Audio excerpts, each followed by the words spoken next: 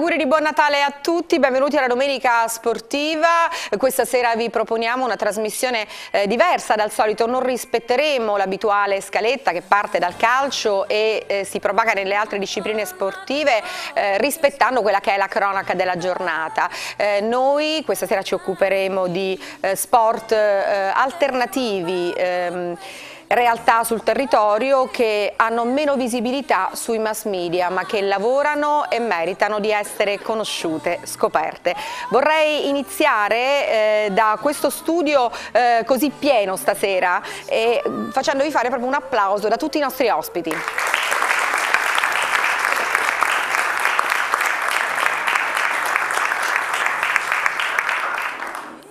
Un'autorità eh, dello sport è ospite alla Domenica Sportiva, ve la presentiamo prima eh, degli altri protagonisti di questa trasmissione, il presidente del CONI regionale Enzo Imbastaro. Buonasera. Buonasera, buonasera a tutti voi. Anche lei è un'autorità nello sport, nel pattinaggio artistico in particolare, è una campionessa plurititolata. Deborah Sbei, ciao Deborah. Buonasera a tutti. E ci occuperemo di scherma con l'Accademia Scherma Pescara. Salutiamo il presidente Luigi Lo Giudice. Buonasera. E parleremo di nuoto sincronizzato, conosceremo lo Swim Team Abruzzo, abbiamo la presidente Katia Damario, buonasera. Football americano con eh, Pescara Krebs e Pescara Lobsters, abbiamo Antonio Di Filippo, dirigente con noi, buonasera. E non mancherà il tennis eh, rappresentato dal Circolo Tennis Sporting Francavilla, il presidente Francesco Ugolini, buonasera. Buonasera, buon Natale. Parleremo anche di rugby con eh, la squadra del Pescara, eh, Carlo Centofanti è con noi, l'allenatore.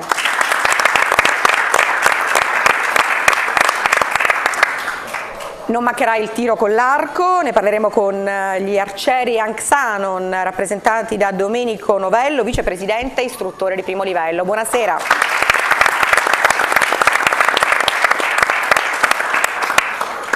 Non ci facciamo mancare nulla, c'è anche l'equitazione rappresentata da Elisabetta Giannini, consigliere del Circolo Ippico Abruzzese. Buonasera.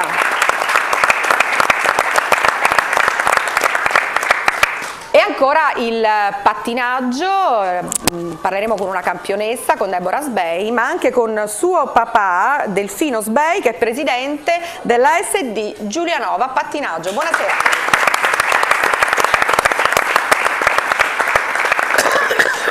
Poi questa splendida carrellata di atleti che ci racconteranno le loro storie eh, di passioni per la disciplina che ciascuno di loro ha scelto di praticare. Ragazzi, un applauso anche a voi. Ci sono anche delle mini e dei mini atleti perché abbiamo veramente dei rappresentanti giovanissimi delle varie discipline. Iniziamo a dare voce al presidente del CONI regionale Enzo Imbastaro. Presidente, quanto sport c'è in Abruzzo? Anche quello che si vede meno. In Abruzzo sono 100.000 i tesserati per le federazioni sportive che sono 45 e le discipline associate che sono 15, senza considerare gli enti di promozione sportiva. Quindi è un numero importantissimo e le federazioni cosiddette tra virgolette minori eh, rivestono un ruolo importantissimo perché tantissime discipline fanno attività con decine e decine di atleti e sono proprio le discipline minori. E quindi un plauso a voi per aver ideata questa giornata riservata alle discipline minori e un in bocca al lupo a loro per eh, il prossimo anno che possiate ottenere migliori risultati. Bene, grazie per gli auguri che arrivano da un'autorità. Eh, Deborah Sbei, eh, sei reduce da uno dei tuoi tanti successi internazionali, un secondo posto ai mondiali. Sì, quest'anno ho disputato per la prima volta i campionati mondiali in Italia, questo era il mio decimo mondiale e sono riuscita ad ottenere la medaglia d'argento, purtroppo ho commesso un lieve errore e quindi forse questo mi ha impedito di raggiungere quella d'oro, però dopo 15 ori mondiali posso essere più che soddisfatta della mia carriera. Quanti ne hai vinti di titoli? Eh, così, te li ricordi? 15 mondiali. Eh, ma in, anche altri? Eh, ah, anche ok, al... più o meno 20 italiani e poi sei europei penso. Ha perso il conto. È una regina, è una regina. Deborah Sbey, allora iniziamo a eh, conoscere quelle che sono le realtà eh, che abbiamo invitato a questa eh, trasmissione. Iniziamo eh, dalla Scherma, l'Accademia Scherma Pescara con il presidente eh, Luigi Lo Giudice, eh, la vostra storia in breve. Sì, Innanzitutto grazie di averci invitato perché come dicevi tu mm, per noi non ci sono tante occasioni per, per, farci conoscere. Anche se devo dire che la scherma, poi il nostro bigliettino di presentazione è quello di eh, aver contribuito eh, al medagliere olimpionico nella storia in maniera sostanziosa è giusto che... Presidente, sì, eh, un ruolo fondamentale quello della scherma. Noi questo lo, lo, lo, diciamo sempre perché poi la scherma penso che adesso sia arrivata a 50 medaglie d'oro e a 125 medaglie olimpioniche, quindi chiaramente questo è un vanto di tutto il movimento schermistico nazionale e del quale appunto noi ci fregiamo di, di far parte perché la nostra società che è a Pescara è ormai alla sesta stagione agonistica eh, ha iniziato, partecipa al circuito nazionale della federazione, per cui gareggiamo a livello interregionale e anche nazionale. Il nostro grande risultato ultimamente è stato quello di aver fatto una doppia promozione con la squadra di Sciabola, perché nella nostra sala d'armi pratichiamo la sciabola e la spada, l'altra arma della, della scherma è il fioretto, che noi non facciamo, e appunto nella sciabola noi abbiamo la squadra in B1 e appunto per il discorso che dicevo prima che eh, la scherma italiana è molto molto competitiva, avere questa squadra in B1 è per noi un vanto e un elemento di attrattiva verso i più piccoli perché chiaramente cerchiamo da, dall'età di 6 anni di avere con noi bambini e ragazzine per promuovere fino all'età di 9 anni con, cosiddetta, con, le cosiddette armi di plastica e poi dall'età di 9-10 anni iniziare a gareggiare. Siamo, sentiamo, siamo sentiamo, sì, sì, a Via del Concilio dove è la nostra sala d'armi e quindi lì all'ordine dei nostri istruttori giovani eh, ci prepariamo per queste competizioni con buone soddisfazioni. Eh, complimenti. Sentiamo Amalia, Amalia lo giudice che è una allieva, un della categoria cadetti Sciabola. Tu sei stata premiata recentemente proprio dal CONI regionale soddisfatta e molto contenta di ricevere questo premio eh, perché credo che questo premio... Avvicina diciamo, il microfono Amalia. Perché credo che questo premio compensi tutti i sacrifici e tutto il lavoro che ho fatto per la scherma perché credo che la scherma è uno degli sport diciamo, che mi dà più emozioni e che mm, mi dà più adrenalina diciamo. Quanti sacrifici fa un atleta di scherma già a 14 anni? Allora, diciamo allenarsi con costanza, eh, nel mio caso tre volte al giorno. E, ehm, al giorno? Tre eh, volte sì. a settimana. E lavorare con costanza e con determinazione e cercare di, diciamo, di uh, arrivare a dei risultati buoni. Bene, grazie Amalia. Andiamo adesso ehm, al nuoto sincronizzato Swim Team con eh, la presidente eh, Katia Damario. Voi siete una realtà molto recente. È il secondo anno che operiamo come Swim Team Abruzzo. Prima facevamo parte di un'altra società. In realtà mh, lavoriamo presso le piscine Lenaiadi da circa 20 anni e quindi abbiamo un, un, bel movimento di circa 60 atlete agoniste più eh, una ventina di ragazze che sono arrivate tardi, si sono avvicinate tardi al nuoto sincronizzato e quindi a livello amatoriale mh, mm, lo fanno così per diletto diciamo. E noi siamo una squadra appunto come dicevo prima agonistica e, mh, sia in campo regionale e gareggiamo anche in campo nazionale, infatti le ragazze che sono qui presenti hanno avuto diverse esperienze nei campionati invernali e nei campionati estivi di nuoto sincronizzato. Giorgia, Giorgia Petrini, che è una delle eh, atlete che rappresentano lo swim team, perché eh, si sceglie il nuoto sincronizzato? Beh, diciamo che io all'inizio cioè, ho iniziato a caso perché mi stavo iscrivendo al nuoto e mi hanno proposto di fare il nuoto sincronizzato, però diciamo che non, non tornerei mai indietro perché eh, è, veramente uno sport bellissimo che ti dà tanto, soprattutto ti ripaga tutti i sacrifici che fai.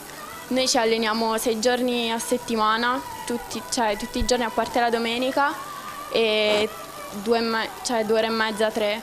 Quindi diciamo che quando arrivi ai campionati, che ti trovi a gareggiare contro atlete della nazionale, è un momento molto importante e cioè, nulla ti può ripagare di quello. Vai. Bella questa affermazione Deborah, stiamo vedendo i sacrifici che fanno questi ragazzi che devono conciliare con la scuola, con altri impegni, l'attività agonistica.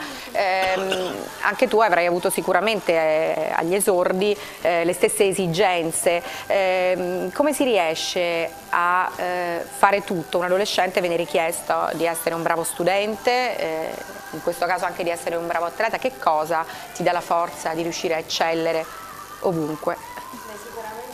Sport fatto a livello agonistico comunque richiede tanti sacrifici, però come dicevano eh, i ragazzi poi io penso che comunque il lavoro viene sempre ripagato, quindi le soddisfazioni arrivano e mh, mm, penso che conciliare il tutto vada di pari passo, nel senso che lo sport ti aiuta anche nella vita.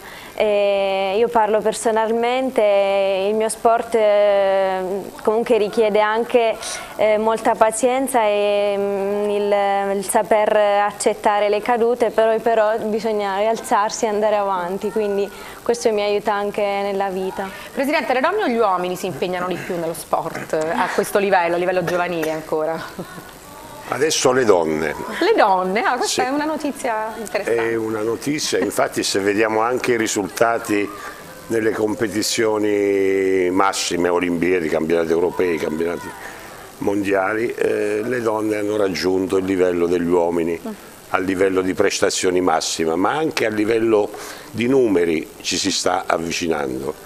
Se pensiamo che solo nel 24 sono state ammesse le, le donne alle Olimpiadi, ed erano poche decine di partecipanti, adesso ai giochi olimpici fra donne e uomini c'è una pochissima differenza e lo sport femminile sta, sta crescendo forse più di quello maschile.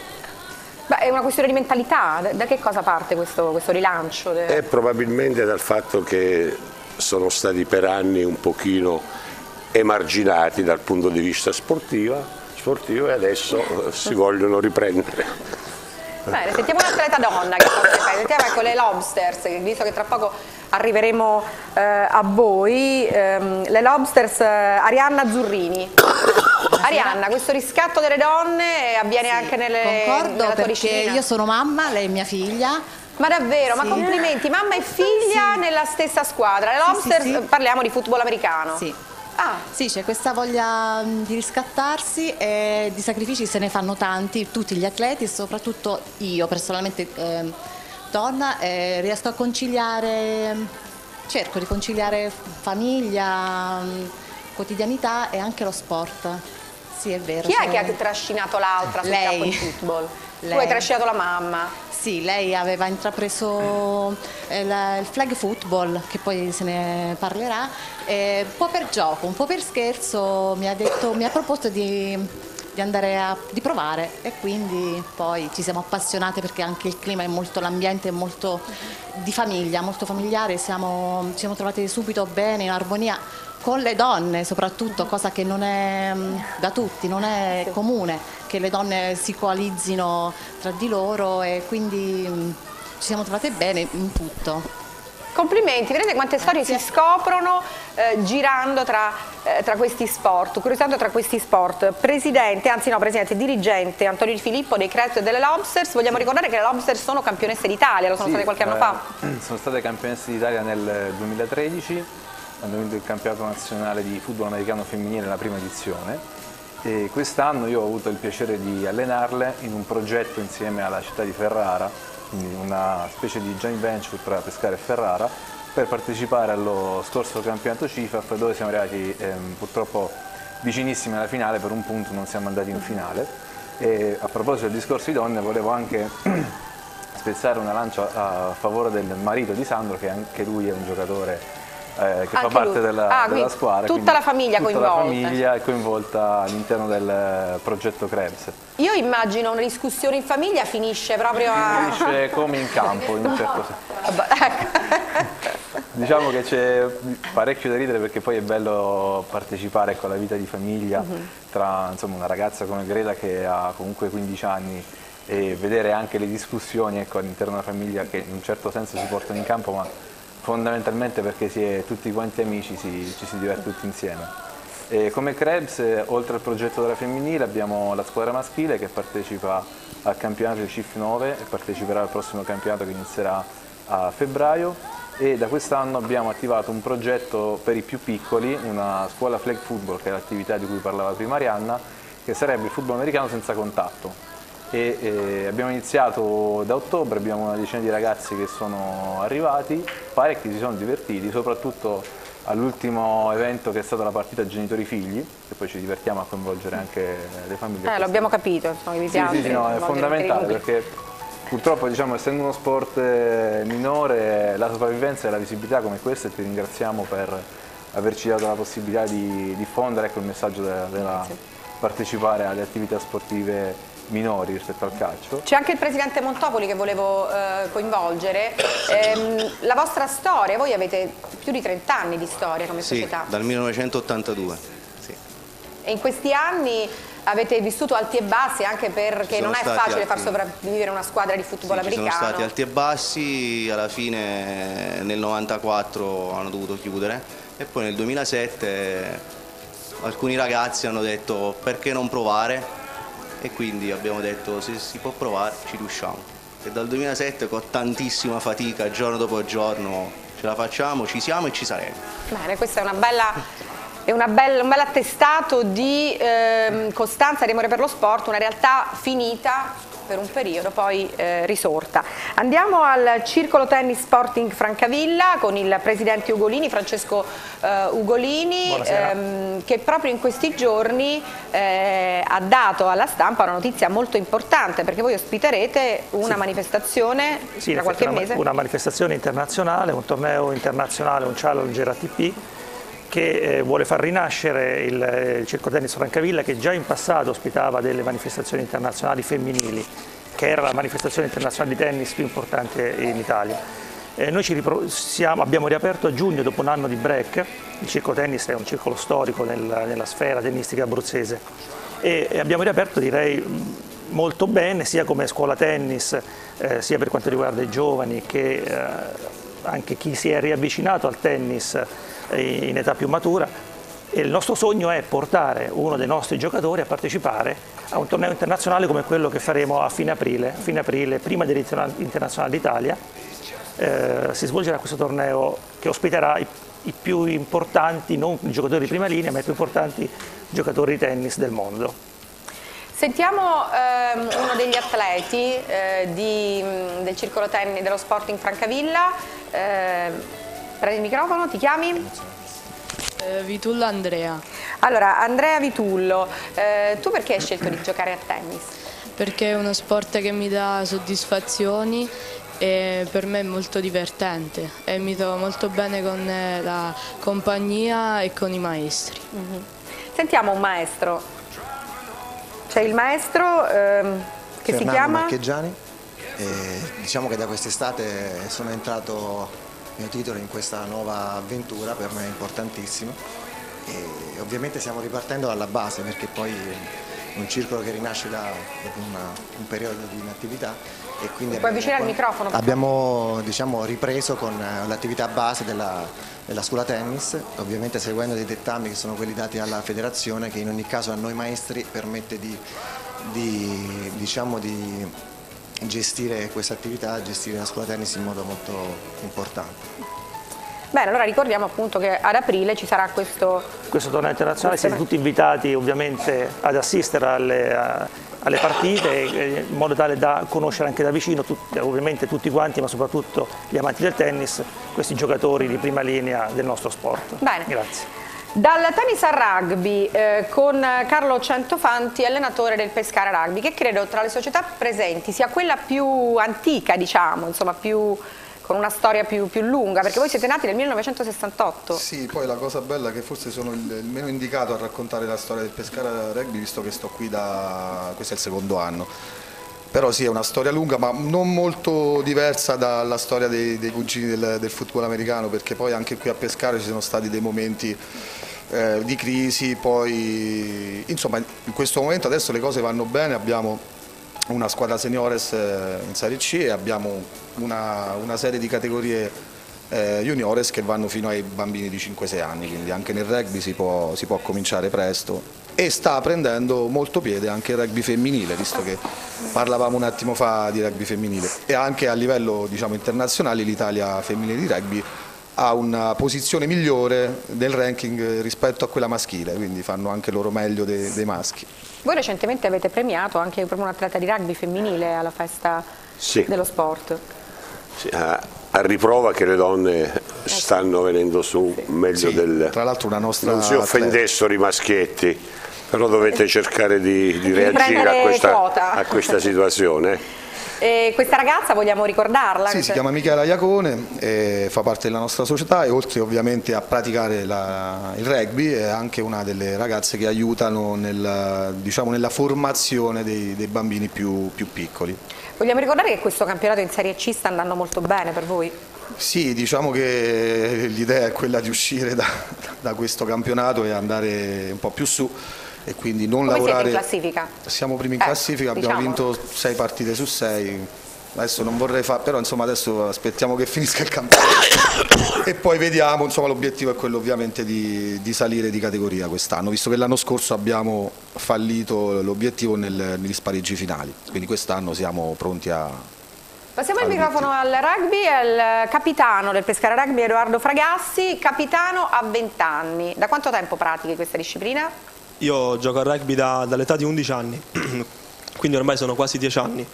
L'anno scorso è stato il mio primo campionato nella categoria seniores, sono stato subito onorato della carica di capitano, uh, nonostante che in squadra la maggior parte dei ragazzi sono miei coetanei, se non addirittura più piccoli, quindi si parla di 19, 20 anni, l'anno scorso addirittura 18. E, um, e ci sono, c'è comunque una, una buona parte di squadra che è composta da, da ragazzi di 30 e anche 40 anni. C'è un nostro, un nostro pilone, sia in senso rugbyistico che proprio di squadra, di amicizia, che ha compiuto da poco 40 anni e nonostante tutto è uno di quelli che in campo se c'è fa la differenza, se non c'è ci manca molto. Deborah, a 40 anni si può pattinare ancora, sì? Per sì. te è molto presto insomma, pensare a questa età, però si possono ottenere risultati? Sì, sì, ovviamente sì. anche il pattinaggio è uno sport che mm, comunque si inizia insomma, intorno all'età di 5-6 anni. È consigliabile, però si può praticare fino a 40 ah, e passare. C'è ancora elasticità muscolare per fare... Sì, ovvio, magari non le gare, però si può praticare per passare. Hobby. Eh, Edoardo, volevo tornare su di te perché tu sei, visto che si parla di attaccamento allo sport, sei un esempio di eh, costanza perché sei diventato capitano, ma prima eh, che cosa è successo nel tuo percorso d'atleta? Purtroppo ho avuto una brusca interruzione della carriera, se si, così si può definire. E ho avuto uno stop di quasi due anni eh, di ogni, attività, ogni tipo di attività fisica eh, a causa di un infortunio e sono stato fortunato nella sfortuna uh, perché ho trovato una, una, persona che è riuscita ad aiutarmi nel rimettermi in forma e soprattutto a rimettermi con la testa perché non pensavo di riuscirci però per fortuna ce l'ho fatta ma soprattutto ho trovato una squadra che nonostante la mia assenza fisica in campo non aspettava altro che riaccogliermi a braccia aperte quando sono tornato quindi sono stato fortunato doppiamente. Complimenti, facciamo un applauso a questa bella storia di, di Edoardo. Arcieri Anxanon. Buonasera. Andiamo con il vicepresidente Novello. Domenico Novello, eh, anche voi avete storie di passione, di perseveranza all'interno del vostro gruppo? Ma nei nostri sport eh, diciamo che la passione è una parte predominante visto che le risorse sono scarse quindi dobbiamo per forza compensare con la passione. Eh, senza di questo penso che molte delle nostre, di quelli dei presenti eh, non sarebbero qui.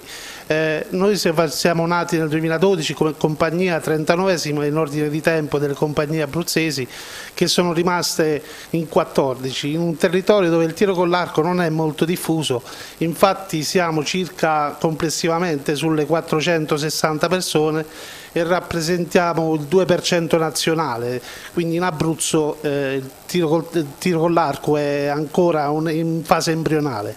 Sembra che ultimamente le cose stiano cambiando, stiamo dando nuova rinfa, nuovo impulso alla spinta proprio, mh, sarà la passione dei giovani, che noi siamo una giovanissima compagnia, stiamo provando a cambiare un po', a dare eh, nuovo spazio, interessare i ragazzi, fare nuovi progetti nelle scuole e quindi cercare di formare eh, nuovi, nuovi atleti. Noi paghiamo lo scotto di non avere una tradizione arceristica alle spalle, quindi manchiamo di eh, persone anziane, persone, personaggi che possono tra, trasmetterci la loro esperienza, ma grazie alla federazione stiamo cercando di compensare distribuendo così corsi, eh, corsi di approfondimento tecnico. Eh, abbiamo una, un bel riscontro da parte dei giovani visto che abbiamo fatto dei progetti nelle scuole e abbiamo avuto la fortuna di portare eh, del trofeo Coni e al trofeo Pinocchio eh, i nostri atleti a, a gareggiare. È stata una bella soddisfazione. Speriamo di andare avanti in questa maniera, siamo, tutto promette bene. Siamo appena reduci di una gara nazionale, l'abbiamo organizzata a Lanciano domenica scorsa, è stato una, un grande evento sportivo a cui hanno partecipato oltre 100 atleti provenienti da sei regioni eh, diverse. È stata una bellissima esperienza, un grandissimo successo a livello organizzativo, c'è stato anche un record nazionale, un ah, record nazionale di squadra. Di eh, Torrevecchia, diciamo, la squadra che attualmente eh, Arcieri eh, mm, pardon, eh, arco nudo femminile master che sono, erano attuali detentori che hanno battuto femminili loro, sempre, femminili, torniamo alle donne Presidente. Hanno battuto il loro, il loro record precedente eh, hanno battuto il loro precedente con eh, grosso, grosso, grosso soddisfazione insomma. È stata una bella, bellissima cosa. Presidente dice il vicepresidente Novella lo stadio embrionale il tiro con l'arco come mai? Mancano le strutture in Abruzzo perché? guardate che il tiro con l'arco è una delle federazioni più medagliate alle Olimpiadi per quanto riguarda l'Italia. Eh. Ma in Abruzzo? In Abruzzo è una disciplina che sta facendo dei buoni passi in avanti, il 2% del, del nazionale non è poi così poco, eh, perché, perché, noi siamo il 2% della popolazione italiana più o meno, quindi rispecchiamo più o meno la nostra... E quindi eh, la società di Lanciano, ma non solo quella di Lanciano, sta facendo passi da giganti, sta facendo iniziative di promozione della disciplina nelle scuole, è una disciplina che possono fare tutti, quindi è abbastanza abbordabile. Le attrezzature forse sono un pochino elaborate e costose, diciamo complesse anche complesse livello... da portare, da trasportare, però la, le società che operano in questa disciplina sono piene di persone di, piena, di grandissima passione, quindi supereranno anche queste difficoltà e vi auguro veramente di ottenere i risultati che meritate, così come tutti. Eh. Come tutti, Beh, lui ormai il Presidente continua a fare gli auguri ed è giusto che sia così in un clima festoso. Oltretutto, prego. Non ha il microfono, eh, diamo il microfono a Delfino Sbei. Eh, volevo dire in merito che oltretutto lo sponsor della nazionale italiana è abruzzese, la Top 87 di Sant'Egidio Librata. Sì. Okay, grazie eh, al signor Sbai che tra poco Hai sentiremo proprio come responsabile della sua eh, società e adesso andiamo ad ascoltare un atleta, sentiamo Roberto D'Angelo degli arcieri eh, Anxanon, eh, Roberto raccontaci dov'è Roberto? Raccontaci la tua storia da atleta, un, per un giovane scegliere il tiro con l'arco, insomma allora, è una, sì. una, decisione coraggiosa con tanti altri sport più all'età, allora, nel senso più visibili. Sì, eh, io ho iniziato per caso eh, c'era un mio amico che, mi, che, faceva il corso e mi ha chiesto se volevo venire a provare. Mi sembra ottobre 2014. E da lì, dopo aver finito il corso, è nata questa passione, mi sono andato a allenare tutti i giorni ero in cerca di un arco, andavo a cercare dappertutto, chiedere anche altre persone. E allora, eh, a differenza degli altri sport come calcio, sport di gruppo, è uno sport dove c'è molta concentrazione perché ogni volta che si tira una freccia bisogna tirarla sempre allo stesso modo e lì eh, quando non conta tanto la tecnica ma conta più che altro appunto la concentrazione. E che altro? Beh, allora passa il microfono alla tua compagna eh, di team che è Elisabetta, Elisabetta Flaminio. Buonasera, sì. una ragazza perché si avvicina al tiro con l'arco? Perché non sono mai stata un tipo molto femminile in realtà, se si può dire così. Quindi bisogna essere mascoline, no? Non credo. No, no, piuttosto da piccola mi piacevano un sacco i film a stampo fantasy e quindi vedevo gli arcieri combattere, allora mi sono innamorata e andavo da mio nonno convinta di voler costruirmi un arco da sola.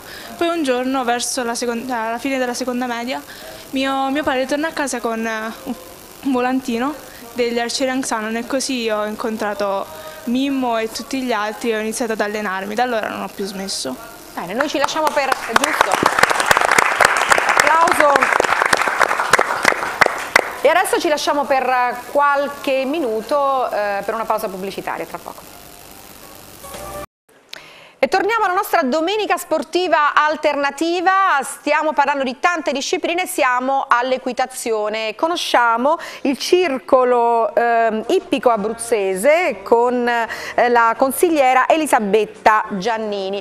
Noi abbiamo detto prima che il Pescara Regmi è una, forse la società più eh, antica ospite in questa trasmissione, ma non è così perché voi avete eh, un'origine datata 1961 nel 1936 si organizzava il concorso ippico Trofeo Città di Chieti allo stadio della Civitella e nel 1961 è stato creato il circolo ippico ehm, abruzzese e già da subito viene riconosciuto come scuola federale nazionale dalla FISE, la Federazione Italiana Sport Equestri e nel 2001 riceve la qualifica di scuola d'eccellenza per aver ottenuto dei risultati in campo nazionale in tutte le discipline olimpiche e anche nei Pony Games.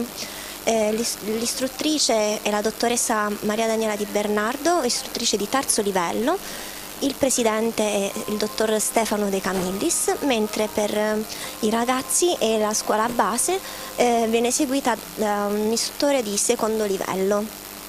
Caratterialmente che cosa si richiede a un giovane atleta che si avvicina all'equitazione? Perché eh, in quel caso non si deve rispondere solo di se stessi, le proprie prestazioni, ma anche di eh, un compagno no. di avventura che è un cavallo. Esatto, sono come diciamo noi due cuori che si vanno incontro. Eh, sicuramente la disciplina ci deve essere e poi ovviamente il rispetto per l'animale e mm, ovviamente stare agli ordini dell'istruttore perché eh, non è facile comunque eh, stare insieme. Ecco. È uno sport costoso l'equitazione, che c'è comunque questa... Ma solo ad alti livelli. Questa reticenza intorno... Mm, se si fa a livello base assolutamente come un qualsiasi altro sport. Un principiante, un esordiente nell'equitazione a che età comincia? Già a 5-6 anni iniziano con i pony. Con i pony quindi con i pony games giocano, eh, imparano ad avere ehm, affiatamento tra i due e poi con il crescere si passa alle prime gare quindi di salto ostacoli, di dressage, di completo per poi passare ai cavalli a 16 anni e continuare nella carriera agonistica. Ricordiamo che ci sono tre discipline olimpiche sì, nel, il dressage, il salto ostacoli e il completo.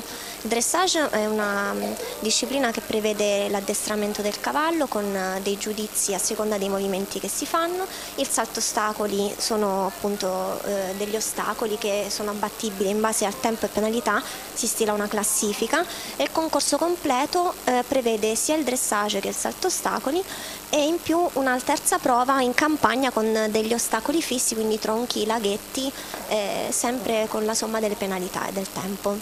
Sentiamo queste piccole amazzoni che sono qui, passiamo il microfono del circolo ippico abruzzese. Allora abbiamo Alessia Rapattoni e Giorgia Rapattoni, due gemelle dolcissime. Allora, eh, tu sei Alessia o Giorgia? Giorgia. Allora, Giorgia, da quanto tempo pratichi questo sport? Quattro anni. Quattro anni, quindi sei stata giovanissima. Perché hai scelto l'equitazione? Perché mio padre faceva monta americana e mia madre monta inglese, quindi già da allora ero appassionatissima. E poi era anche un po' di mio, mi, piaceva- mi piacevano gli animali, in particolare, in particolare il cavallo. Alessia, tu invece? Io la stessa cosa, perché noi avevamo un cavallo a casa e a noi già da due anni la mamma ci ha fatto fare passeggiate sopra lui. A due anni già, sul cavallo, non sul pony, Sì, solo sì, sul cavallo. cavallo. Lui era bravissimo, ci siamo cresciute insieme. Eh, ma quanto si diventa amici del cavallo? Cioè, si crea proprio un, un rapporto speciale, come se fossi un amico in carne e ossa, un, un bambino, il cavallo, il pony. In questo caso loro ehm, cavalcano il pony ancora. Che rapporto c'hai, c'hai con il tuo pony? Beh, Siete amici? Cioè voi vi capite? Tu capisci se è nervoso, se è tranquillo? Riesci ad interpretare lo stato d'animo del cavallo? Lui cioè, capisce te? Dipende da, da come sei tu. Se tu sei nervoso il cavallo è nervoso. Invece se tu sei, sei tranquillo il cavallo è tranquillo. Ma questo è bellissimo, una simbiosi con eh, animale eh, Amazon, è bellissimo. Tu invece sei ehm, Greta. Greta è ancora più piccolina. Quanti anni hai Greta? Otto. Otto anni. Da quanto tempo pratichi l'equitazione? Tre.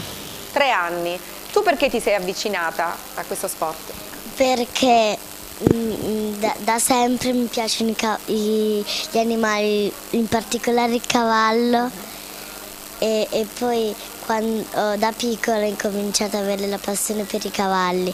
Dopo un po' ho incominciato a montare e mm, mi sono appassionata e poi ho incominciato a montare, ho incominciato a fare le gare. Come vai alle gare? Come te la cavi? Mm, bene. Bene, sei molto coraggiosa, sei forte, non, non, non temi nulla. Ha già- Le- hanno già avuto qualche risultato importante queste tre atlete? Ah, eh, chiedo scusa il microfono. Ai campionati regionali di dressage e di salto ostacoli e in, tutti i concorsi che si fanno in zona. Eh, io vorrei far vedere il look, ti puoi alzare in piedi Greta, guardiamola perché è deliziosa, se possibile con Diego Martelli inquadrare questa eh, giovane Amazon, elegantissima, questo cos'è il completo da gara? Eh, Sì, la divisa per le gare insieme al cap, ehm, pantaloni bianchi, eh, la giacca con il plastron, ehm, gli stivaletti o leghette eh, per i pony, il cap e i guanti. Bellissimo, voglio fare un applauso a Greta. Bravura e stile anche nello sport e andiamo al pattinaggio con la SD Giulianova, eh, il suo presidente Delfino Sbei. Ehm, presidente, eh, Deborah Sbei è eh, un'autorità sul territorio, non solo abruzzese, però a Giulianova eh, immagino che sia un elemento trainante per avvicinarsi al pattinaggio.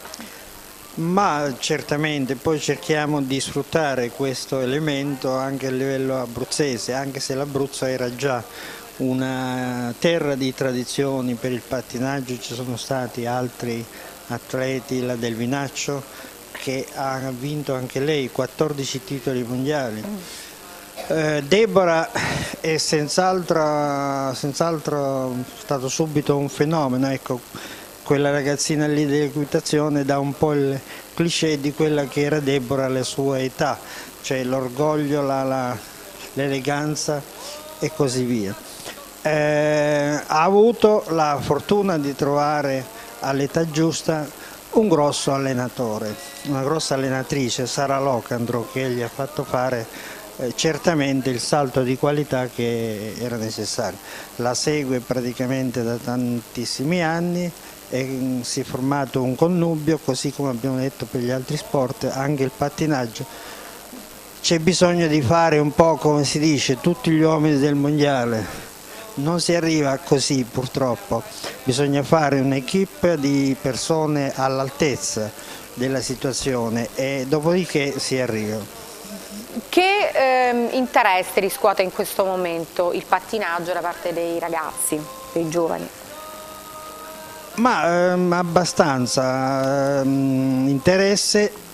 Adesso ehm, diciamo che la federazione è un po' in evoluzione perché prima di tutto è entrato tra gli sport olimpici e quindi non è poco. La prossima Olimpiade ci sarà anche una specialità del pattinaggio. Poi, come dicevamo prima, a che età si può smettere? Adesso stanno dando un po' di moda, diciamo, i gruppi. I gruppi sarebbero un po' eh, piccoli, grandi, medi e così via, in modo tale che chi a una certa età non ha più la forza di fare agonismo, allora si dedica al gruppo, dove è possibile praticare eh, quasi divertendosi anche fino a età molte, molto avanzata. Eh, e questo sinceramente devo dire ha portato molti nuovi atleti alla federazione e di conseguenza anche eh, soldi se vogliamo, un giro enorme, vediamo da qualche anno quando ci sono i mondiali che quando arrivano questi gruppi c'è un movimento, anche una disponibilità diciamo così, di sponsor molto più sostanzioso. Eh, Deborah, ehm, a quattro anni già eh, praticavi il pattinaggio, sei praticamente nata con le rotelle. Sì, io ho iniziato da piccolina perché comunque questo sport è sempre piaciuto a mia madre, quindi è lei che mi ha fatto provare... Quindi papà non c'entra nulla insomma? No, in questa cosa no. si è appassionato lui dopo, sì, seguendoti? Ecco. Sì, sì, poi mi hanno sempre seguito, però mi sono avvicinata grazie a mia madre. E sei stata convocata in nazionale a 12 anni già? Sì, diciamo che l'età minima per poter fare gare internazionali è proprio 12 anni, quindi diciamo che alla minima età ho avuto la possibilità di partecipare già ai campionati europei e una delle cose appunto più belle che mi, regalato, che mi regala tuttora questo sport è viaggiare ed è una cosa che io adoro, che comunque ti permette di conoscere nuovi paesi, tante persone, quindi mi piace molto. Presidente Imbastaro, da questo primo giro ehm, di esperienze, di racconti tra i nostri ospiti, che cosa eh, emerge? Emerge un grande movimento in regione, ma non solo in regione. Lo sport dilettantistico mh, va avanti con poche risorse perché la risorsa maggiore è la passione che ci mettono i dirigenti, i tecnici e anche i genitori che sono la linfa vitale del movimento sportivo dilettantistico perché nelle difficoltà economiche in cui ci troviamo molto spesso l'onere dell'attività sportiva dei bambini è a carico delle famiglie. Quindi li ringrazio e comunque non sono, lo ripeto spesso, non sono risorse spese mali, anzi sono spese benissimo perché ogni euro che si investe sui propri figli e sull'attività dei propri figli poi ritornerà quando saranno più grandi perché sicuramente si troveranno meglio nella vita di tutti sì. i giorni. Quindi al di là di quelli che possono essere poi eventuali poi sbocchi agonistici, comunque è formativo lo sport. Un esempio importante è che ci sono alcune aziende che ricercano il personale fra coloro che hanno fatto attività sportiva a un certo livello, perché sono più affidabili, sono più sicuri, sono disposti al sacrificio, a collaborare con gli altri e quindi hanno delle caratteristiche che poi per le aziende dove andranno a lavorare si ritroveranno sicuramente bene. Quindi io voglio ringraziare veramente tutti coloro che si adoperano per portare avanti l'attività sportiva con questi giovani. Ai ragazzi dico se posso, passate questi momenti in modo sereno, divertitevi senza pensare ai grossi risultati. Questo è un momento di crescita fondamentale per voi, non tutti purtroppo hanno le caratteristiche per emergere, però vivere questo ambiente, l'ambiente sportivo, è fondamentale per la crescita di ognuno di voi. poi potreste essere utili come dirigenti, come tecnici, come arbitri, come giudici, quindi per ognuno c'è spazio nello sport. Quindi vivete serenamente questa disciplina, questo sport che fate, senza battervi per le sconfitte e senza esaltarvi troppo per le vittorie. Va bene? Un applauso al Presidente Enzo Imbastaro. Una bella lezione di vita, io un altro applauso lo vorrei fare ai genitori perché poco fa il Presidente raccontava come sia importante il contributo dei genitori e qui ce ne sono tanti che non si vedono, che sono dietro le telecamere a accompagnare i loro figli, un altro attestato di come li assistano, li seguano. Carenze di eh, aiuti economici, come eh, vivono le società questo dato di fatto purtroppo di essere lasciati a loro stessi per quanto riguarda proprio il, il mantenersi, il sopravvivere. Sentiamo eh, l'Accademia della Scherma di Pescara con Luigi Lo Giudice che prima annuiva quando si parlava di mancanza di fondi. innanzitutto sottoscrivo quello che ha detto il Presidente Imbastaro perché è così eh, così nel, nel senso del, del, valore educativo e formativo dei ragazzi. Questo noi lo vediamo eh, tutti i giorni per come appunto crescono nel fisico e nello spirito. E chiaramente per la schema posso dire anche sotto l'aspetto della, della, disciplina, di stare in pedana, di, di rispettare le regole e, e tutto quello che ne consegue. Quindi su questo pienamente d'accordo, anche perché per quanto riguarda noi dirigenti, se non, fosse, cioè, se non ci fosse questo presupposto sarebbe veramente eh, impensabile dedicare un bel po' di tempo per eh, gestire le nostre società e colgo l'occasione ovviamente anche per ringraziare per quanto riguarda il consiglio direttivo della società che si prodiga appunto nel portare avanti mh, le nostre attività. Ehm, ecco, io non vorrei toccare proprio il tasto del discorso economico perché sennò rischierei di essere... Pole non andiamo alla no, polemica, alla puntata di Natale, esatto, Potrei dire che la nostra tutti. società si può freggiare del fatto che in, tutti questi anni non ha avuto mai una sponsorizzazione, perché chiaramente la scherma è un qualcosa di addetti al settore o comunque di chi la pratica, quindi diciamo che l'appeal eh, per quanto riguarda l'esterno il pubblico è ovviamente abbastanza limitato, però ehm, noi ovviamente contiamo sulle nostre forze, sulle iscrizioni, quindi facciamo più un lavoro di promozione per cui invitiamo a provare l'ebbrezza eh, della della stoccata sia nell'arma nell della sciabola che della spada che si predispone anche per chi vuole iniziare un po' più tardi. Chi ha le sponsorizzazioni, le società presenti? Chi ha o ha avuto sponsorizzazioni? Ah bene, ci sono i sì, Krebs. Noi quest'anno rispetto agli altri anni abbiamo qualche sponsorizzazione in meno purtroppo. Ah, in meno? Sì. Il, ci siamo dovuti adattare riducendo gli allenamenti a settimana e eh, cercando di ottimizzare poi le risorse a disposizione. Eh, come fonte principale comunque rimane il contributo da parte degli atleti e che quindi pagano... Il contributo sarebbe quindi la, re la retta mensile sì, esatto, degli atleti. La retta mensile che comunque rimane la fonte principale di, di ingresso di, di, soldi ecco, in cassa, diciamo così. E l'unica cosa che si riesce a fare ad oggi è ottimizzare le risorse, quindi magari le divise se vanno rifatte quest'anno no, l'anno prossimo vediamo come fare, eh, un allenamento a settimana magari sacrificabile al campo lo si farà in una parte all'aperto e si dedicherà all'atletica in maniera diversa, però diciamo che si cerca sempre comunque di offrire un prodotto di qualità che faccia soprattutto divertire i ragazzi, perché per noi è fondamentale che i ragazzi che vengano a conoscere il football ecco, si, si divertano. E swim team, lo swim team come fa eh, a far quadrare eh, i conti? Eh, la stessa cosa, il contributo dei genitori è fondamentale eh, con le loro quote eh, paghiamo lo spazio acqua, noi abbiamo uno spazio acqua e con il loro contributo appunto paghiamo lo, paghiamo lo spazio acqua e cerchiamo Le tariffe sono guadagnare. accessibili o sono elevate? Eh, insomma. Tasto dolente questo. sì, ehm, cerchiamo insomma di far quadrare i conti, ecco non, purtroppo noi solo in piscina ci possiamo allenare, quindi per noi la vasca è fondamentale, non possiamo eh sì. eh, In mare non si sì, può, insomma, no. d'inverno. Eh. Anche d'inverno. Con tutta quindi, la buona volontà esatto. penso un quindi, po' difficile. Mm, come ha detto il, il collega, eh, cerchiamo di ottimizzare anche noi e di far quadrare i conti. Diciamo che i tasti sono due dolenti. Uno è la disponibilità delle strutture e l'altro il costo, purtroppo.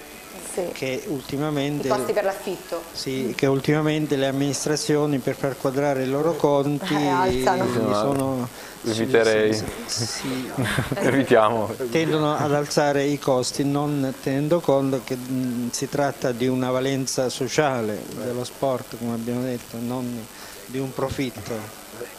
E questo è un problema spinoso da tempo, Presidente, no? il fatto della diatriba. Con... Sì, Adesso se mi stimolate io vado avanti Sì. per tanto tempo. eh. proseguiamo.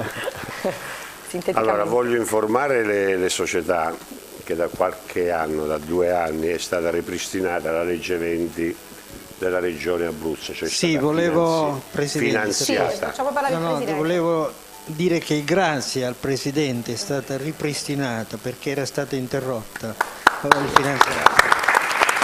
Quanti applausi per il Presidente Imbastaro questa sera, meritatissimi. Prego, Presidente. Non sono cifre altissime, però sono per le società dilettantistiche cifre che possono alleviare un pochino, le- aiutare a superare le difficoltà. Purtroppo, il- a parte la Regione che ha la legge 20 e quindi finanzia lo sport per quanto riguarda i risultati di un certo live- livello, per l'attività agonistica, per le manifestazioni sportive, per i convegni, insomma c'è una serie di... Anche noi come CONI, attraverso anche un contributo della Regione, ogni anno premiamo 12 atleti, 12 talenti con una cifra abbastanza consistente che li possa aiutare a continuare. Lei l'ha preso qualche anno fa, adesso ha superato l'età però. Mi raccomando non mollare perché devi andare alle Olimpiadi del 2024, eh, del 2020 cioè. E, e quindi effettivamente ci sono queste difficoltà. Tu devi sapere che fino ai primi anni 90 gli impianti sportivi non si pagavano. Adesso tutti gli impianti sportivi si pagano. Quelle più costose sono le piscine perché hanno dei costi alti in quanto c'è il riscaldamento da pagare, ma tutti gli impianti, anche quelli all'aperto, si pagano ai gestori o agli enti locali che ne sono proprietari. E questo è un grosso problema, perché fra l'altro con le cifre che si pagano, gli enti locali, io ho fatto anche l'amministratore a Pescara, incassano a Pescara poco più del 15% del costo reale della, della struttura. Cioè se costa un miliardo la gestione di tutti, un milione la gestione di tutti gli impianti pes- pescaresi, il comune incassa 150 mila euro. Nonostante ciò, le tariffe che pagano le società sono importantissime per le società dilettantistiche, perché a fine anno assommano 3, 4, 5 mila euro, che sono per società che si reggono sul volontariato cifre enormi. Quindi lo- uno degli obiettivi del CONI è cercare di trovare una forma per cercare di alleviare queste spese delle società sportive. Molti stanno cercando di gestire gli impianti sportivi, però non sempre eh, ci sono società eh, che possono farlo perché ciò im- impegna anche dal punto di vista economico, Mm. almeno inizialmente.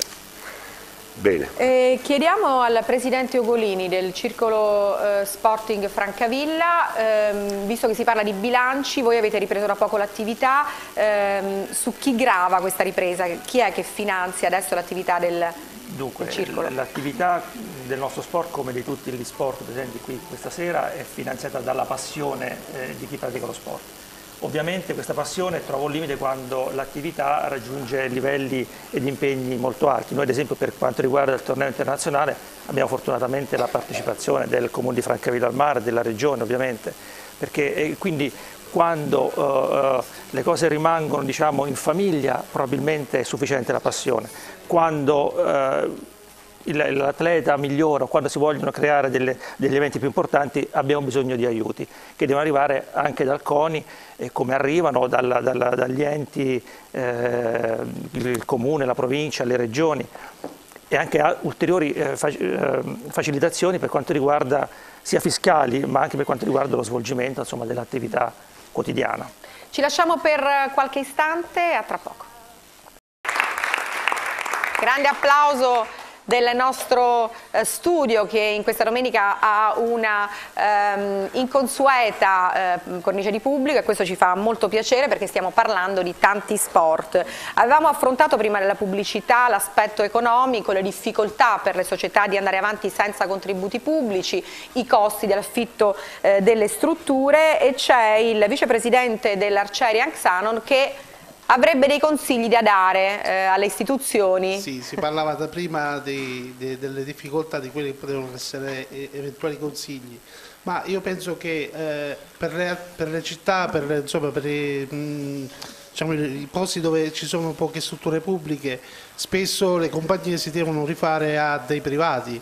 Eh, mentre i eh, comuni non riconoscono la possibilità di ridurre quello che sono i costi comunali tipo Tasi, IMU, eh, quindi riconoscere una scontistica per chi affitta a associazioni sportive. Questo lo possono fare solo le associazioni sportive che sono titolari di una struttura, eh, diciamo a questo livello non, è difficile che ci si arrivi, per chi inizia da zero sarebbe una grossa mano proprio di sopravvivenza delle, delle compagnie far sì che quindi chi eh, affitta un canone concordato le, le strutture a associazioni sportive potesse eh, ridurre i costi comunali, almeno quelli. Cosa ne pensa il Presidente? Sarebbe una soluzione ottima, ma purtroppo ogni comune la vede a modo suo. Sì, spesso rilascia, eh, cioè sconta a chi rilascia sfitti, quindi diciamo, riconosce uno, uno sgravio a chi li lascia fermi e non li impegna magari con associazioni. In questo caso diciamo, potrebbe eh, politicamente scegliere di dare il servizio piuttosto che conservare eh, quelli che sono i capitali, insomma, potrebbe essere solo una scelta politica. Potrebbe essere una buona strada da seguire. Bene, questa... eh, ognuno però poi nel proprio territorio dovrebbe cercare di, di lavorare in tal senso. Insomma. Ecco, noi a livello, eh, noi, il nostro riferimento è la Regione Abruzzo, con l'assessore abbiamo un bel rapporto, ci sta seguendo, ci sta aiutando e quindi possiamo anche pensare di legiferare in questo senso, però poi i comuni sono comunque autonomi. Eh. Certo, ognuno dovrebbe fare il lavoro sulla propria, sulla propria comune. Diciamo, Sul proprio dovrebbe... comune, sì. Comunque abbiamo anche prodotto una prospettiva di soluzione in questa trasmissione, ci fa piacere. Potrei fare un Presidente? piccolo invito? Nel senso che abbiamo parlato fino adesso di, di, aiuti che arrivano dal pubblico, però magari in Abruzzo abbiamo tante aziende no, che magari possono cogliere l'occasione di investire, di farsi pubblicità tramite gli sport e, e quindi aiutare eh, le generazioni anche future eh, in modo diretto e indiretto. Insomma. Certo. In modo da poter scegliere, non solo scegliere solo tra gli sport più noti. Poi è tutto fiscalmente detraibile, quindi comunque le aziende non andrebbero eh, ad sono avere solo vantaggi per le degli oneri economici sul proprio bilancio. Qui ci sono delle aziende molto vicine allo sport, eh. Eh sì. adesso non posso sì, fare non i nomi, fare nomi però, per, però, sì, sono, però sono tanti poche, nomi che ricorrono, sono sì, sono sempre Molti le stesse che ricorrono. insensibili. Eh sì, purtroppo è vero. Eh, sentiamo il rugby, andiamo al rugby e mh, torniamo all'aspetto caratteriale eh, di cui si parlava mh, prima con il Presidente. Eh, è così utile lo sport dal punto di vista caratteriale per crescere delle eccellenze anche nella vita? Assolutamente sì, forse io ne, ne sono un esempio, nel senso che ero un bambino piccolino e timidino, eh, molto bravo a giocare a calcio, ma con uno scarso carattere diciamo. Ho iniziato molto presto perché nella mia città si gioca più a rugby che a altre cose, per fortuna che se, Sei aquilano? Sono aquilano forse si, si sente anche dall'accento, anche se poi ho fatto un giro Beh, lungo per arrivare a Pescara. Hai un nome importante nel rugby tu? No, no, no. Non credo, cioè, ho fatto qualcosa. No, ci sono nomi ben Beh, più comunque, importanti. Senso, hai un nome da, da trascor trascorsi da, da, giocatore. Sì, sì, sì, ho giocato, ho giocato anche, anche, se troppo giovane in Serie A, eh, poi certo, ovviamente sì, sì, poi sono un po' scappato da alcune eh. realtà. Vabbè, comunque insomma, ho fatto un giro un po' lungo e adesso sto a Pescara dove è nato mio figlio, quindi l'obiettivo ovviamente l'abbiamo già detto prima, per il resto che il, il rugby sia uno sport esempio forse per per quanto riguarda, diciamo che noi lo accostiamo molto alla vita perché è così che funziona, cioè si, si gioca, si corre, si cade, ci si rialza, si ricomincia e senza possibilmente lamentarsi mai, rispettando ovviamente quelle che sono le regole del, dello sport che sono un po' quelle della vita, ecco, se, se giocassimo slealmente al rugby ci faremmo un po' male.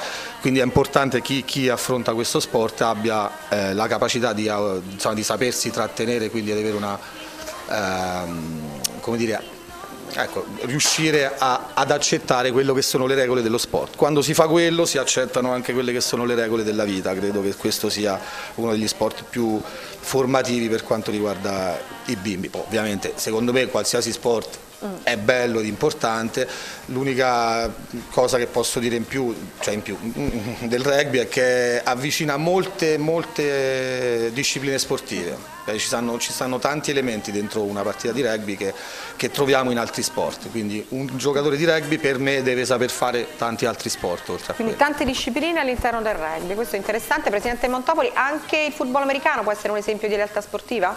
Assolutamente, il football americano l'amicizia, l'onore, la responsabilità, l'onestà sono le basi di questo sport.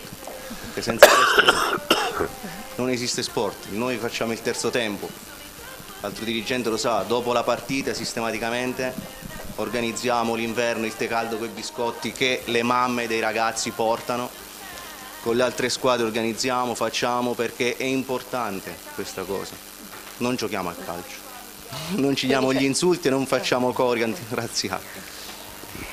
Eh beh, eh, quelli sono comunque degli estremismi del calcio, insomma non è detto che il calcio, non è che il calcio sia tutto eh, cori eh, omofobi eccetera, insomma sono gli estremismi che non dovrebbero esistere in nessuno sport. Deborah, simbolo di realtà sportiva anche il pattinaggio? O no? Eh, andiamo su un campo un po' diverso. No, no, anche lì comunque c'è il rispetto dell'avversario, anche se comunque eh, la mia disciplina, cioè non, non, comunque gareggio singolarmente, non in gruppo, però comunque c'è sempre il confronto con altri atleti, il rispetto e, e, sì, e insomma l'onestà.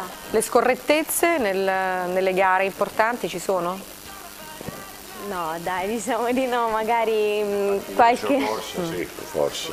Forse nella corsa, non lo so, però da noi magari mh, da parte dei giudici, giudici però sì. non è una scorrettezza, è che comunque è un giudizio personale, quindi ognuno la vede un po' a suo modo, è soggettivo. Ti sei mai trovata ehm, a essere punita ingiustamente dai, dai giudici? Per, no, quello no, perché comunque ci sono cioè ogni difficoltà ha un suo, mm, mm, cioè alla fine della gara ci sono due punteggi, uno tecnico che viene dato in base alle difficoltà che un atleta fa e quello comunque ogni, ogni difficoltà ha un suo coefficiente e poi invece quello artistico è un po' eh, più soggettivo perché comunque giudica, il giudice andrà a valutare se è piaciuta o meno la performance. Torniamo al circolo ippico abruzzese, Elisabetta Giannini, eh, come forma caratterialmente l'equitazione? È una bella disciplina, bisogna essere ferrei, avere tanta volontà e soprattutto non bisogna battersi anche se magari le prime gare non vanno bene e deve essere uno stimolo per fare sempre meglio. E le strutture? Ehm al nord o in altre parti d'Europa ci sono eh, degli impianti al coperto per poter praticare questo sport in inverno. In Abruzzo però questo è ancora molto lontano. Non ancora ci sono questo tipo di strutture, però si può... Eh... Ci sono? Ah, ci sono, quindi voi non le avete però? No. Quindi la difficoltà di, anche di queste amazzoni così piccole che si allenano al freddo? Sì, però ci teniamo comunque... Eh, Vi scaldate i muscoli? Ci scaldiamo, sì, uh -huh. sì. Ci sono queste già delle strutture coperte per... Ce ne stanno due in provincia di Teramo, una non funzionante ma una non funziona, ci si è andata a gareggiare sì, sì, sicuramente, certo. e una in provincia di Chieti pure. Sono strutture impegnative anche mm, dal punto di vista gestionale, mm -hmm. non è che si può gestire facilmente una struttura del genere, quindi ci vuole un impegno notevole per mm -hmm. farlo, per realizzarlo e per poi gestirlo e mantenerlo. Su che um, area vi muovete voi? Avete degli spazi eh, ampi, sufficienti vostra, per la vostra attività? Sì, sì, per fare lezione tutti i giorni abbiamo um, due campi, uno per la scuola, uno per invece per saltare e fare lezione con i grandi. Uh -huh. Voi problemi di strutture non ne avete? Ma ci arrangiamo con quelle che abbiamo. Vi arrangiate con quelle che, abbiamo, che avete? Beh, insomma, ci fa piacere che qualcuno non abbia nulla a eh, chiedere di cui lamentarsi. Eh, Presidente Sbei, invece per il pattinaggio quali sono ehm, prima di tutto le motivazioni proprio car caratteriali eh, che, che dà a livello di formazione caratteriale il pattinaggio? Cosa dà? Ma eh, di solito si parte come un gioco, le famiglie si uniscono, diciamo, unisce la, uno sport che unisce molto la famiglia, seguita molto dai genitori. Quello che chiedo io e dico, suggerisco ai genitori di lasciare che resti un gioco fino a che è possibile eh, di lasciar fare eh, i tecnici, quindi di mh, mm, rimanere spettatori come al solito deve essere per qualunque altro sport. L'importante è che i ragazzi eh, si impegnino seriamente al massimo delle loro possibilità senza arrivare eh, a subire le pressioni dei genitori.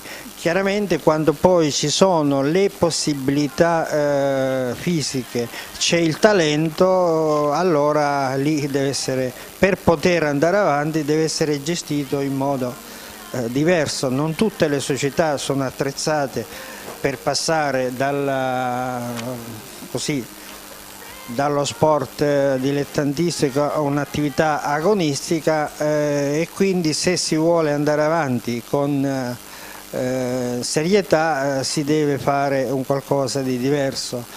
Eh, io nel 2006 quando ho visto che Deborah aveva il talento per andare avanti ho formato io una società eh, con una decina di persone tutte all'altezza della situazione e abbiamo avuto tanti risultati che non sono solo quelli che ha detto Deborah, tanti secondi, tante terze, tanti titoli europei e, e così via. Invece per quanto vole, ehm, riguarda. riguarda le strutture, eh, il problema è molto più complesso perché sul territorio le strutture sono gener generalmente di proprietà o dell'amministrazione provinciale, tutte le scuole superiori, o delle amministrazioni comunali. Purtroppo sul territorio non c'è una gestione univoca della cosa. Allora che succede?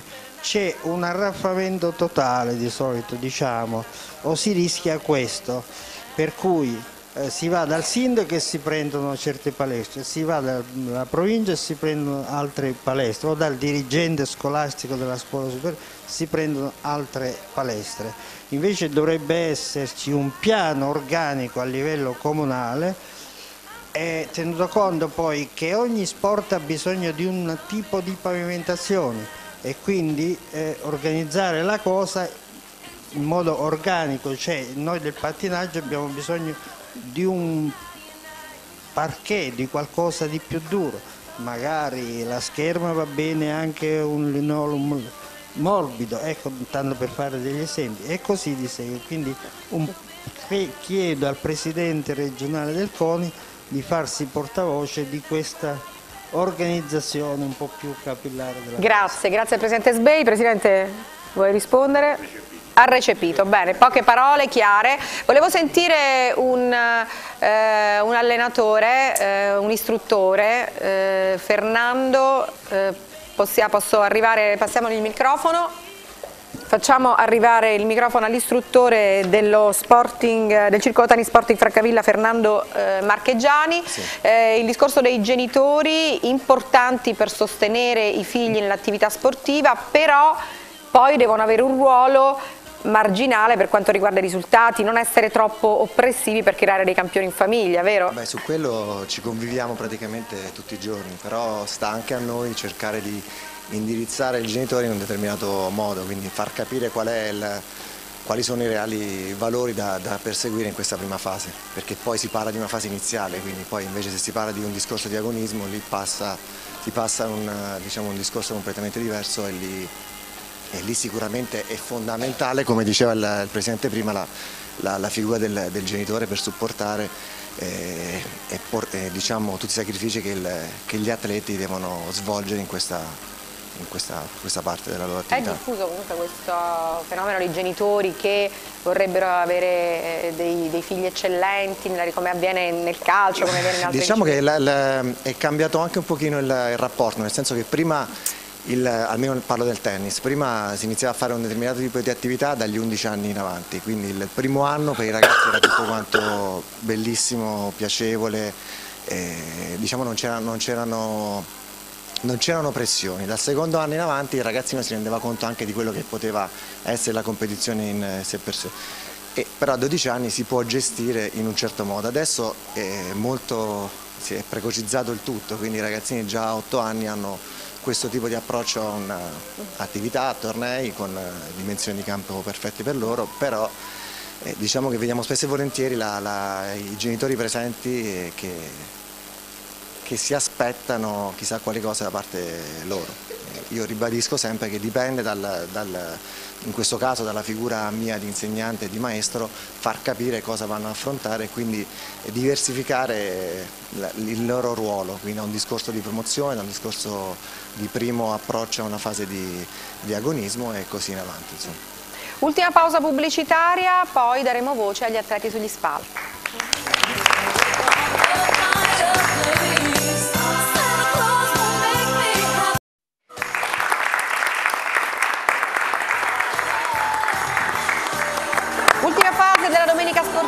Edizione di Natale, diamo voce agli atleti che non hanno ancora preso la parola nel corso della nostra trasmissione. Iniziamo dal Pescara Rugby.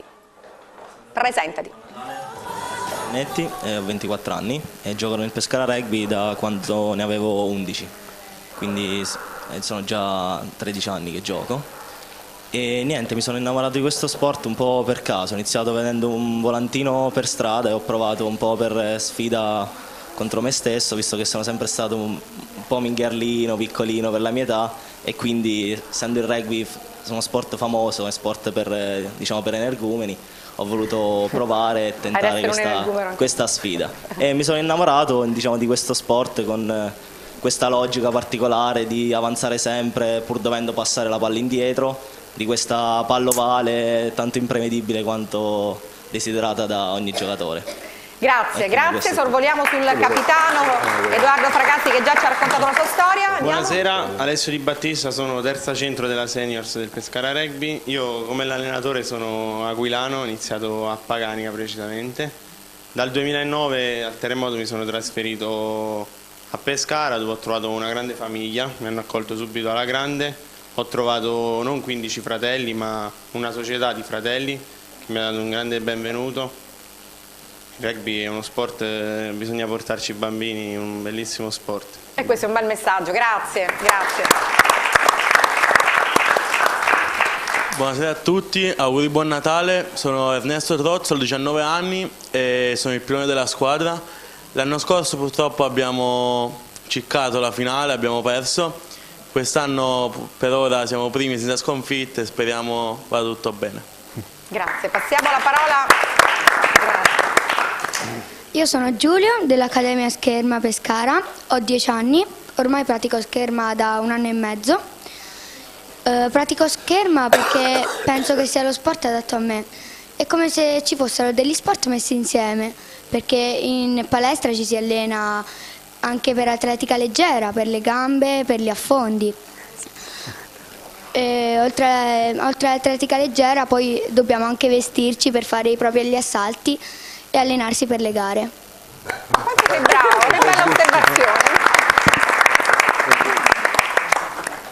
Buon Natale, io sono Giampaolo, ho 10 anni e ho iniziato a scherma appena avevo 5 anni e 8 mesi, quindi molto presto. Anche io proprio la data precisa, bravo. Solito la mamma lo dice. Precisissimo. E la scherma io l'ho incontrata appena eh, dovevo compiere 6 anni, eravamo a dicembre. e- Non aspettava. e avevo visto proprio un assalto di Aldo Montano. Aldo Montano, mamma Ti sei innamorato di questa disciplina guardando Aldo Sì, Montano. Poi il giorno dopo avevo visto un, volan- avevo visto un volantino per strada e dove della- dell'accademia proprio dove sono adesso e mi ci sono appassionato. Ho conosciuto tanti nuovi amici e Bravo. E adesso sei adesso una- sono campione nazionale. Sì. Bravo, Sono campione nazionale e secondo campione interregionale. Complimenti, facciamo un applauso a Giulio. Giulio? Giulio, Giulio. No, Giampaolo. Ah, Giampaolo. Allora, adesso la storia di, Amia- di Amalia, già, con Amalia già abbiamo già parlato, andiamo alle ragazze del nuoto sincronizzato. Sì, buonasera a tutti, sono Consalvi Chiara, ho 18 anni e sono il capitano della squadra di nuoto sincronizzato della Swim Team e pratico questo sport da 10 anni ormai ed è uno sport, come diceva prima la mia compagna, che dà grandissime soddisfazioni e che richiede moltissimo impegno. L'anno scorso abbiamo ottenuto un grande risultato ai campionati invernali italiani a Verona e poi agli estivi a Savona, in cui abbiamo partecipato con il doppio, io e lei, e con il singolo. E diciamo che è stata una bellissima esperienza. Complimenti, complimenti alle ragazze dello Swim Team. Krebs. Buonasera a tutti, sono Domenicone Paolo, ho 18 anni, gioco eh, a football americano da praticamente tre anni. È iniziata questa passione con un circolo di amici, possiamo dire, perché il cugino di un amico di un mio amico portò me e questo mio amico a provare. Io eh, all'inizio ero molto timido, però quando entro in campo mi sento tutt'altra persona e mi sento a mio agio e questo mi ha portato ad essere capitano della prima squadra e essere presente da due anni stabilmente nella selezione nazionale di football americano. Complimenti anche a te. Ma, eh, c'è un, un baby, un baby football. Ciao, sono, sono Roberto, ho sette anni, pratico fre- flag football da due mesi. Ah, quindi sei giovane giovane di questa disciplina. Complimenti, complimenti a Roberto. Buonasera, sono Greta Quintiliani e faccio parte della squadra femminile di football americano Lobsters Pescara. Eh, gioco a questo sport da circa due anni e mi sono appassionata ehm, partendo prima dal flag. E mio padre diciamo, mi ha fatto scoprire questo sport a sorpresa, un giorno mi ha preso e mi ha trascinato qui così e da lì ho deciso di intraprendere questo sport e di portarlo avanti e, e quindi poi mi sono appassionata. Complimenti, hai portato anche la mamma, ricordiamo. Hai portato anche la mamma sul campo di football. Eh, noi siamo addirittura d'arrivo. Eh, Deborah Sbetti, identifichi un po' nelle storie di questi ragazzi, di qualcuno di loro? Ricordando i tuoi esordi. Sì, certo, anch'io comunque da tantissimi anni che pratico questo sport e a parte un, un periodo di, di stop forzato diciamo, a causa di un infortunio non ho mai smesso di praticarlo, quindi poi vabbè, ognuno ha la propria storia e vita sportiva, però sì, mi ci ritrovo molto. Vogliamo fare un applauso a Deborah Sbei che è una grande campionessa, un vanto per l'Abruzzo. Presidente Imbastaro, forse il messaggio più importante, più bello, ehm, l'invito a praticare sport arriva proprio dalle storie di questi atleti. Sì. Sono loro che parlano con i loro cuori. Adesso è molto più semplice fare sport rispetto a quando ero ragazzo io. Quando ero ragazzo io tanti tanti anni fa, da parte di alcune famiglie c'era anche l'opposizione a fare sport, specialmente delle donne. Per le donne era un momento per uscire di casa, andare al palazzetto a fare sport o al campo di atletica a fare atletica.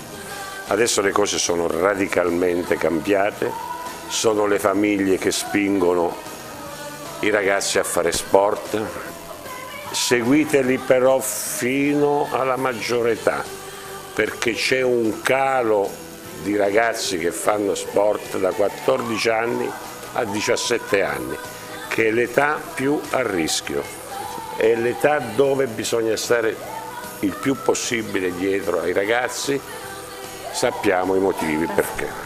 Quindi un impegno forte a che poi c'è una ripresa dopo i 18 anni, ma da 14 a 17 anni c'è un calo di ragazzi che fanno sport. Quindi ragazzi cercate di convincere i vostri coetanei, i vostri amici a fare sport perché sicuramente, già l'ho detto, crescerete meglio e vi troverete bene poi nel prosieguo della vostra, della vostra vita di tutti i giorni. vi faccio veramente tanti auguri per le prossime festività, che il 2017 vi porti tante soddisfazioni a tutti. Grazie. E con questo augurio che merita l'applauso del nostro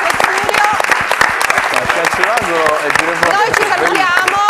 Un ringraziamento a Diego Martelli, Massimo Pacino alle telecamere, a Dino D'Angelo in regia, un ringraziamento a tutte le società che hanno partecipato, ai dirigenti che adesso non elenchiamo uno per uno, ma eh, ringraziamo le società. Accademia Scherma Pescara, Pescara Rugby, Arcieri Anxanon, Swim Team Abruzzo, Circolo Ippico eh, Abruzzese, Football Pescara Krebs e Pescara Lobsters, Circolo Tennis Sporting Francavilla, ASD Giulianova Pattinaggio. Grazie a tutti voi per essere stati con noi. Un forte in bocca al lupo per i vostri percorsi sportivi e noi ringraziamo tutti voi da casa che ci avete seguito, vi auguriamo buon Natale e un felice 2017. Il nostro augurio lo rafforziamo con questo applauso. Arrivederci!